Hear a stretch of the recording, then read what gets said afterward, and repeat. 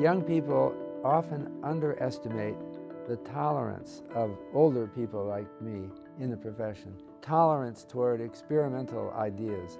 They also underestimate how much people of my age are bored by people who just do the same thing that we've been doing.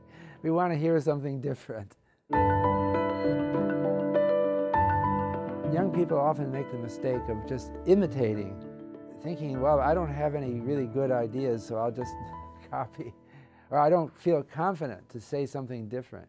I'll make some mathematical model that's in the current fashion.